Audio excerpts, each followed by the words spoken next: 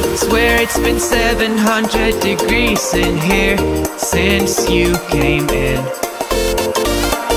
I could swear that this room has been running out of air And now